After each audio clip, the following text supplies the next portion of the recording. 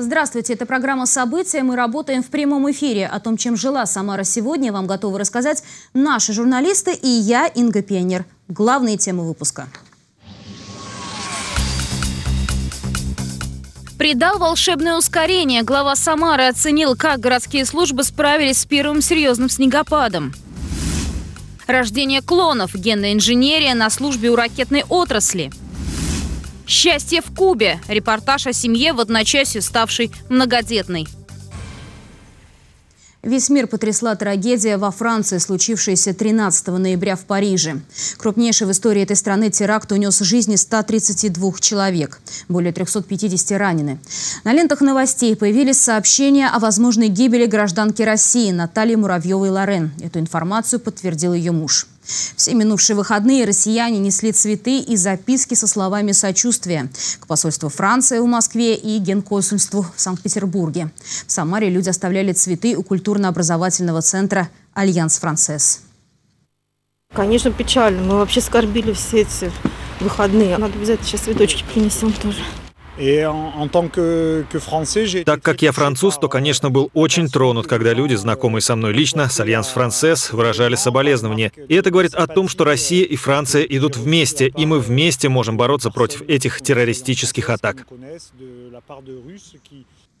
В адрес посольства Франции телеграмму направила губернатор Самарской области. Он выразил соболезнования от имени жителей региона. Николай Меркушкин назвал терроризм угрозой номер один для всего мирового сообщества. Глава региона также высказал уверенность, что безопасность наших сограждан будет надежно обеспечена. Конец цитаты. Сразу две нелепые аварии произошли в Самаре в выходные. Ночь с пятницы на субботу внедорожник снес остановку на площади революции. После аварии водитель иномарки быстро уехал в шиномонтаж. Он не знал, что за ним наблюдали активисты ночного патруля, которые сообщили обо всем в полицию. Прибывшие сотрудники ГИБДД составили на виновника ДТП административный протокол. Еще один инцидент произошел в субботу утром на улице 22-го партсъезда. Трамвай сошел с рельсов, перегородив проезжую часть почти полностью. ЧП случилось недалеко от рынка Норд. Предположительно, в аварии виноват водитель легкового автомобиля. Утро понедельника не стало добрым для самарских автомобилистов. Пробки были на улицах Новосадовой, Советской армии, Нововокзальной и почти на всей протяженности Московского шоссе от мехзавода до Аэрокосмического университета. Здесь ситуация осложнялась еще и тем, что из-за неполадок с контактной сетью стали троллейбусы. Снегопад, который начался в Самаре еще в выходные, тоже внес коррективы в дорожный трафик. Справились ли с его последствиями дворники и как оценили их работу в городской администрации, знает Марина Матвейшина.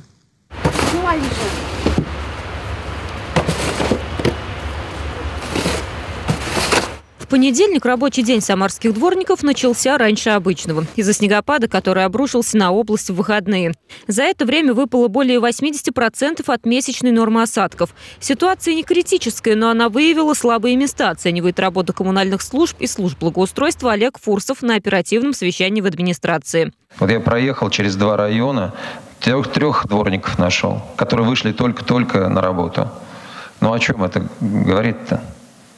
Я кого убеждал весь этот год? Вас? Почему эта информация не доходила до подчиненных? Почему не доходила до работников? Значит, возьмите себе в норму снегопад, значит, вы ходите не в 8 утра, там, 5 утра, в 4 утра. Главам районов Олег Фурсов поручает организовать работу так, чтобы никакие погодные сюрпризы не могли помешать горожанам передвигаться по городу. Уже к началу рабочего дня чистыми должны быть дороги, тротуары и подходы к подъездам. Она будет организована именно так, как сегодня требует от нас глава. Первое, будем работать, выходить в 4-5 часов утра, выводить дворников, выводить всю технику и работать.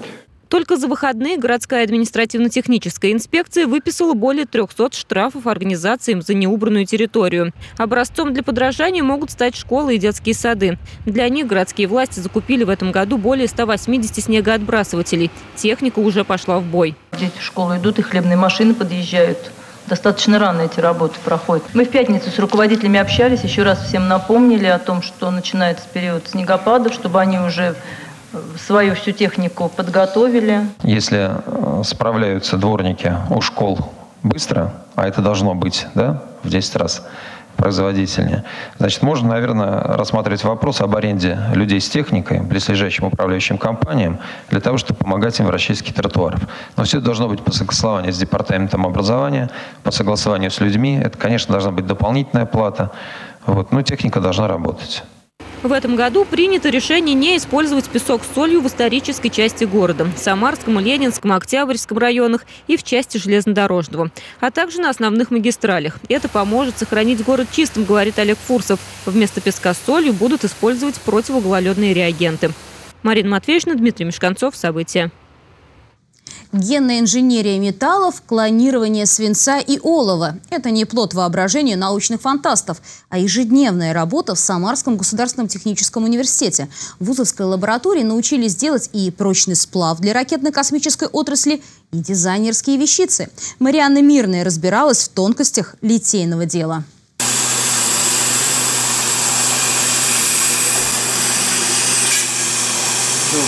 Вода камень режет. В специальный агрегат заливают десятилированную жидкость. Под высоким напряжением она превращается в плазму. Ионизированный газ – это четвертое состояние вещества. Такая установка позволяет быстро и с миллиметровой точностью разрезать любой металл, да так, что не останется ни одной зазубринки. Сто лет назад для того, чтобы разрезать металл и как-то его обработать, применялись э, обычные инструменты, там напильники, какие-то пилы. Вот.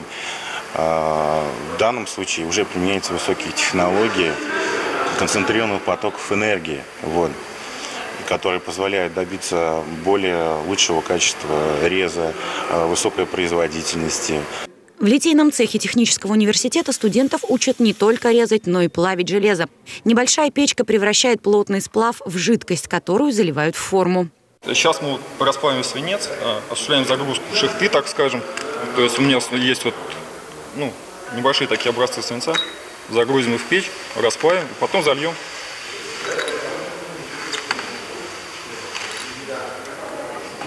Свинец, он имеет низкую температуру плавления, порядка 327 градусов Цельсия, поэтому буквально 10-15 минут у нас будет готов расплав. Сплав должен быть легким и прочным, с уникальными эксплуатационными свойствами. Не ржаветь, не ломаться, обладать пластичностью. Именно такие составы разрабатывают на кафедре литейных технологий в Самарском государственном техническом университете. Многие годы факультет сотрудничает с крупнейшими заводами по направлениям автомобилестроения и ракетно-космического кластера. Мы называем технологии генной инженерии сплава. Мы управляем структуру. Надо мелкую, мы можем обеспечить мелкую структуру. Надо крупную, крупную за счет структуры. А знаете, мне неожиданно пришла мысль, с чем бы я сравнил, с клонированием. Да, мы управляем, мы генетикой занимаемся. Мы генами управляем. В сплавах есть гены в жидком металле, и мы знаем, как ими управлять. Кроме высокотехнологичной работы, студенты занимаются художественным литьем. Из металлов можно сделать и бюст президента, и герб Самары. И, возможно, когда-то статуэтки тоже начнут делать из особо прочных сплавов, которые смогут отправиться в космос. Мариана Мирная, Сергей Баскин. События. В Самаре выбирают лучшего студента года страны. В областной столице проходит финал Российской национальной премии. Принять участие в конкурсе приехали 300 человек из разных регионов. Все студенты сначала прошли заочный отборочный этап. Теперь участники борются за симпатии компетентного жюри. О фаворитах конкурса сюжет Лариса Шалафаст. Я встретил их. Ребят, с которыми мы с нуля начали строить студенческое телевидение. Этот презентационный ролик студент Самарского госуниверситета Алексей Юртаев подготовил специально для всероссийского конкурса. Во втором этапе в номинации «Лучший журналист» он единственный участник из Самарской области. Алексей стоял у истоков студенческого телевидения в своем вузе. Уверен, участие в конкурсе поможет ему подняться на новый профессиональный уровень. Смотришь на других ребят, хочется совершенствоваться, хочется приезжать на следующий год и говорить. А, и хочется так, чтобы они говорили обо мне именно, что вот какой журналист растет. Добрый день, в студии 33-го канала. Пижама. Пижама. На конкурс Анна Жугор приехала из Ростовской области. По образованию юрист, по призванию журналист. Новости на местном телеканале ведет несколько лет. Лучший студент года для Анны – первый профессиональный конкурс. Появляется чувство гордости, когда ты общаешься с этими людьми, и здесь не чувствуется конкуренции. То есть все люди абсолютно между собой равны, мы э, в свободное от конкурса время, что самое приятное, делимся друг с другом опытом. Лучших студентов выбирают в 10 номинациях. Среди них доброволец года, творческая личность года, спортсмен года. Они соревнуются за то, чтобы быть э, лучшими в инновациях или лучшими в средствах массовой информации или лучшими, там, допустим, в науке. Это приводит к тому, что студенты смотрят, как, что есть в других регионах, ну и, соответственно, подтягиваются за уровнем регионов-лидеров. Лучшего студента года объявят 17 ноября. Лариса Шлафаст, Алексей Золотенков. События. 32 ветерана, 32 уникальные истории. Не все воевали на передовой, многие, будучи подростками, работали в Тулу, создавая для армии самолета, танки и оружие. В окопе или у станка эти люди-герои, спасшие не только страну, но и весь мир от кошмара фашизма. В Самарском доме журналистов наградили участников фотовыставки «Память героям Великой Победы посвящается». Сегодня почетные грамоты вручили студентам факультета журналистики, которые общались с ветеранами войны и записывали их рассказы.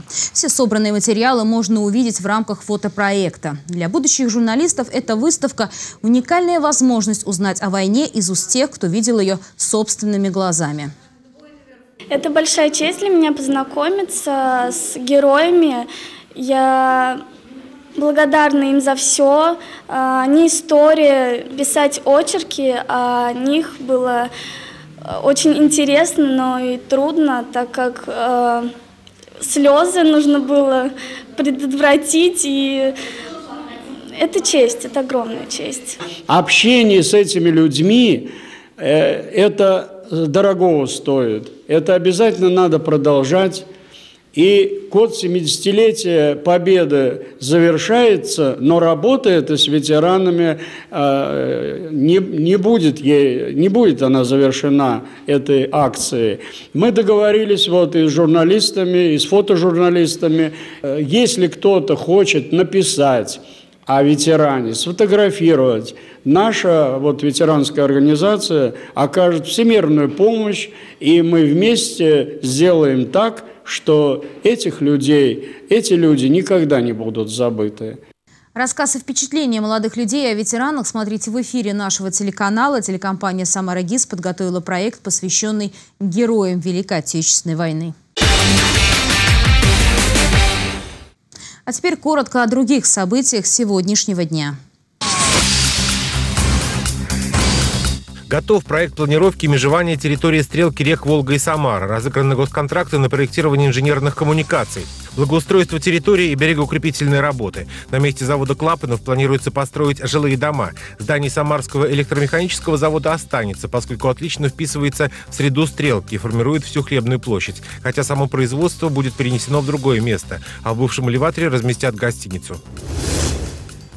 Из села Рождественно спасатели эвакуировали на левый берег Волги беременную женщину, у которой начались преждевременные роды. На то, чтобы доставить ее на противоположный берег, ушло 40 минут. Операция прошла успешно. В Самаре женщину передали врачам скорой. Три человека пострадали в аварии в Комсомольском районе Тольятти. ДТП произошло на въезде в район из зеленой зоны. Водитель «Лады» не справился с управлением, машину занесло, и она оказалась на полосе встречного движения. Там она столкнулась с «Опелем». От удара обе машины вылетели на обочину. Пострадал водитель и трехлетний ребенок, которые находились в салоне «Опеля». Также травмы получила пассажирка «десятки».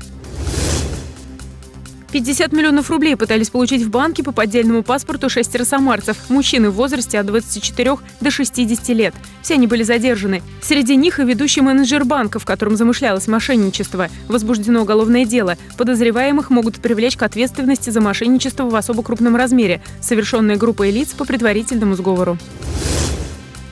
Последние самарские туристы возвращаются из Египта. В областную столицу прибыло три рейса. Они доставили 300 человек, в том числе 60 детей. Все туристы вернулись с ручной кладью. На борт можно было взять только одежду. Ориентировочная дата доставки багажа в Самару 20 ноября. А в минувшее воскресенье Самарский аэропорт уже принял два рейса с вещами туристов.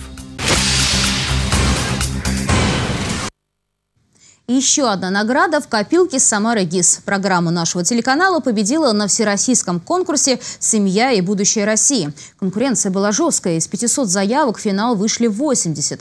Проект Инессы Панченко «Право на маму» уверенно занял первое место. Коллегу поздравила Лариса Шалафаст.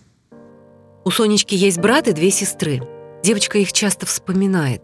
Она теплый домашний ребенок, и ей одиноко в казенном сиротском учреждении – Героиней программы «Право на маму» Сонечка стала совсем недавно, а уже спустя пару недель после эфира у малышки появилась новая семья. Сонечка не единственный ребенок, кому удалось помочь. За три года создатели программы на телеканале «Самара ГИС» рассказали о судьбах 160 ребят. 135 из них уже нашли маму и папу. «Право на маму» не раз становилась победителем конкурсов и фестивалей разного уровня. Работу Инессы Панченко высоко оценили на всероссийском конкурсе «Семья и будущее России». Он проводится уже второй год. В этот раз заявки подали 500 участников со всей России. Премия присуждается в четырех номинациях – радиожурналистика, интернет-издания, печатные СМИ и тележурналистика. В общей сложности жюри рассмотрело почти 6 тысяч материалов. Программа «Право на маму» обошла 80 финалистов и завоевала первое место. Мне очень часто говорят, как вы можете переносить все эти негативные эмоции. Мы бы все время плакали. Нет смысла плакать, когда ты понимаешь, для чего ты это делаешь.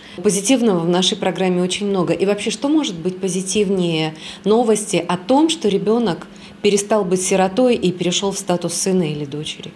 Получать награды всегда приятно, говорит Инесса Панченко, но признается, гораздо важнее узнавать, что благодаря твоей работе еще один человек на Земле стал счастливее. Лариса Шлафас, Дмитрий Мешканцов. События. Ежедневно в мире рождается почти 350 тысяч детей. Львиную долю приходится на чадолюбивые Азию и Африку, и только 5% появляются на свет, казалось бы, более благополучных западных странах. Европейские женщины делают карьеру и медлят с рождением наследника, боясь не справиться с нагрузкой. Также рассуждала и наша землячка Татьяна Берестенева, решаясь на первого ребенка. Но вдруг счастье обрушилось на нее в тройном размере. И самое поразительное, она справилась. Виктория Шарая, которая сама удачно сочетает карьеру и двух детей, все же поразилась. И как молодая мама все успевает. Татьяна Берестенева никогда не думала, что станет матерью троих детей, да еще в одночасье. Делится сразу и не поняла, почему на очередном УЗИ вокруг нее начался вдруг ажиотаж. Когда она делала УЗИ, она сначала э, говорит двойня, потом, значит, такая еще дальше вводит э, тройня, я вообще сначала думала, что она э, имеет в виду какой-то свой там медицинский другой термин. Заподозрила неладное Татьяна только когда врач-узист стала названивать коллегам и просила их срочно прийти в кабинет. Я вообще сначала восприняла это как шутку. Но потом вот там столпилось несколько человек, все начали рассматривать, говорить, ой, какая прелесть. Так я вот, когда мне повернули этот, э, ну, как бы монитор, э, вот я прелести особой там не увидела, что там прелестного, не знаю. Татьяна признается, когда прошел первый шок, поняла, что счастлива. Вот только боялась муж, восторгов не разделит. Оказалось напрасно. Чтобы прокормить внезапно разросшееся семейство, папа Лёша целыми днями работает, а вечерами помогает жене с дочками. Татьяна решила его поддержать. По образованию она педагог-вокалист, так что теперь дает уроки вокала на дому. Мри, бра, бри, бра, бри. Мри, бра, бри, бра, бри. Девочки Валерия, Варвара и Полина, пока мама работает, развлекают себя сами. Мия, мия, ми. Татьяна говорит, будущую профессию дочки выберут себе сами, когда вырастут. Хотя признается, все-таки хочется, чтобы хоть одна из них пошла по ее пути и стала музыкантом. Я им включаю здесь музыку разную, мы разные инструменты с ними слушаем. Э, каждый день у них звучит разная музыка и в магнитофоне, то есть там и классика, и не классика, и детские песни я им включаю разные на разных языках, то есть чтобы ну, дети развивались, чтобы они слышали, что это есть. В октябре девочкам исполнился год. Они уже проявляют свой характер. Солирует Лера, прирожденный лидер. Конфликты сестер смягчает покладистая Полина, а Варюша тем временем строит глазки всем приходящим в гости и вовсю кокетничает. Впереди у девочек волнующее событие — первая новогодняя елка. Юные модницы уже готовятся, примеряют наряды, которые шила для них любимая бабушка Оля. Виктория Шара, Константин Головин. События. А теперь пришло время новостей спорта, и я передаю слово Сергею Кизоркину. Здравствуйте, я Сергей Кизоркин, и значит вы смотрите «Самарские новости спорта». У хоккейной «Лады» появился главный тренер. В Самаре выходные стартует чемпионат страны по боксу. Самара станет столицей российского бокса. На неделю, начиная с предстоящей субботы, на ринг МТЛ-арены будут выходить лучшие бойцы страны, чтобы выиграть не только титул чемпиона России, но и путевку на Олимпиаду в Рио-де-Жанейро, Бразилия. За сборную Самарской области выступят 14 боксеров из Новокуйбышевска, Тольятти, Безенчука, Чапаевска, Жигулевска, Сызрани и Самары. Сборная 63-го региона составит конкуренцию чемпионы и призеры Европы, мира и Олимпийских игр. Наши спортсмены имеют шансы туда попасть, мы за них будем очень болеть. На этом чемпионате у нас будет участвовать Василий Веткин. На него, конечно, большие надежды. Он э, чемпион России 2013 года, лучшим боксером признан на чемпионате России, серебряный призер чемпионата России 2014 года. Поэтому это наша надежда, но есть у нас еще э, Руслан Юлдашев, это тольяттинский боксер, в 2013 году он был бронзовым призером чемпионата России.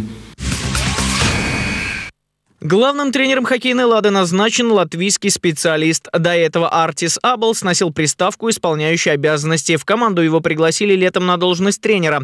После отставки прежнего главного тренера Сергея Светлова под руководством Аблса «Лада» держала 8 побед в 10 последних матчах и смогла уйти с последнего места на востоке континентальной хоккейной лиги.